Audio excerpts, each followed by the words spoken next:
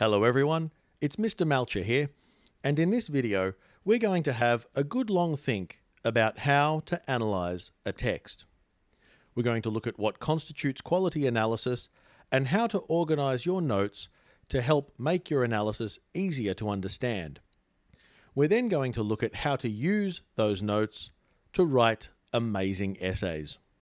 In this series, we're going to be looking at examples from the novel Briar Rose to demonstrate the process of analysis.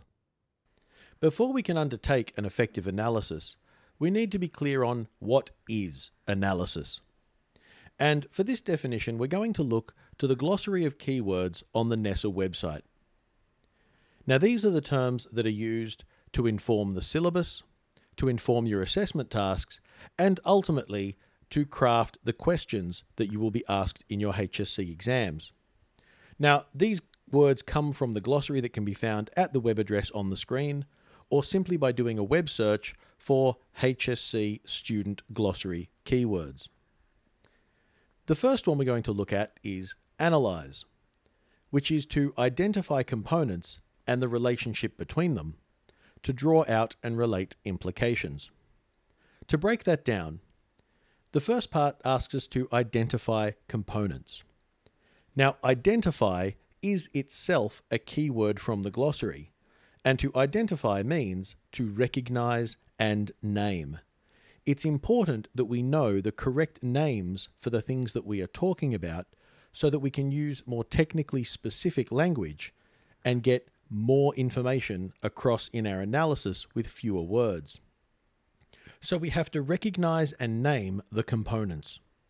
Components are the bits, the parts, the things that make up the text as a whole.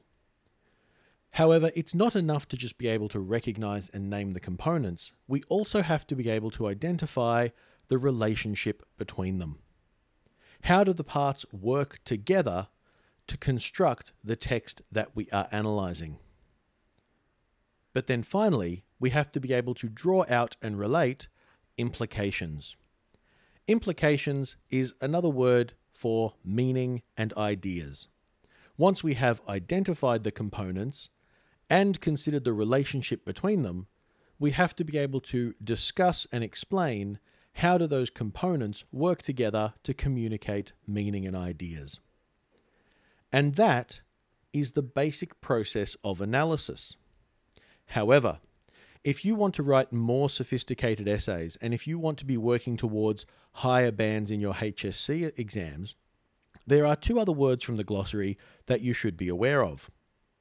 The next one is evaluate, to make a judgment based on criteria or to determine the value of something. To make a judgment means to form an informed opinion. Having completed a detailed analysis, you will have information available with you to form an opinion about the quality of the text you have studied in relation to the topic that you are studying it for.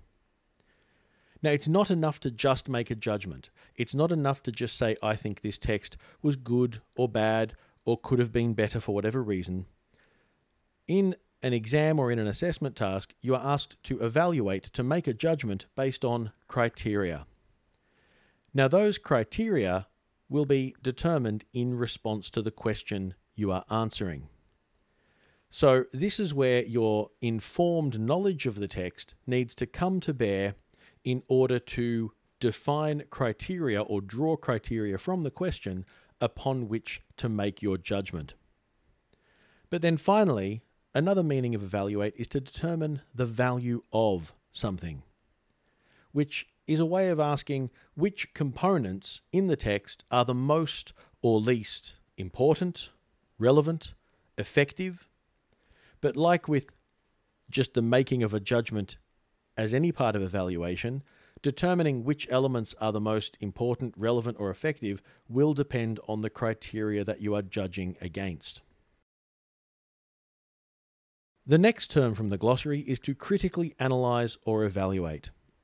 Once you are comfortable with analyzing and evaluating, you can then engage in critical analysis and evaluation.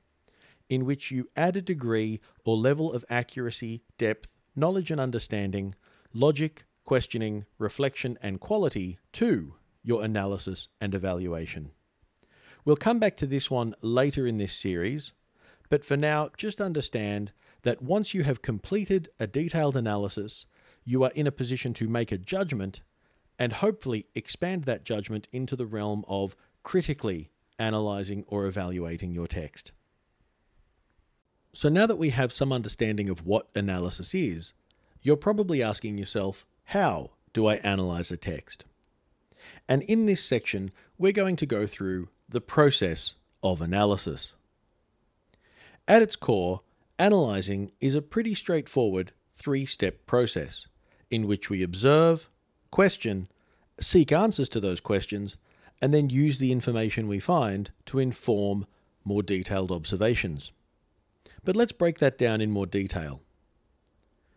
When we read a book, view a film, read a poem, watch a play, or engage with any text we might be called upon to study in English, we are observing the details of that text. And as you watch or read, you should be taking notes of the things that stand out, the things that seem important, the things that are clearly contributing to some of the main messages and ideas of the text. Once you have collected your observations, they might prompt a series of questions. And questioning is at the core of effective analysis. Analyzing a text is a critical thinking process in which asking questions of what you see is the key thought process you need to be engaging with. Your questions might begin with What's the name of that thing? Or what is happening in that particular moment in the text? Do I know what technique is being used? But then, as you develop more informed observations, your questions might start to be about the meaning of a moment in the text, or might start to be about its relationship to other texts or other ideas. But asking those interesting, intriguing questions is one of the key processes of effective textual analysis. Once you have your questions, then you start to seek answers. In some cases, the answers might already be in your notes from class, in study guides that you've read, or searchable on the internet. Many of the texts that you study in your HSC have been studied many times before, and there is a wealth of information out there once you know the right questions to look for answers to. And as stated earlier, once you have found answers to those initial questions, that information might help you to form more comprehensive observations, more complex observations of the text as you go through it a second and possibly even a third time. But that, at its core, is the process of analyzing a text.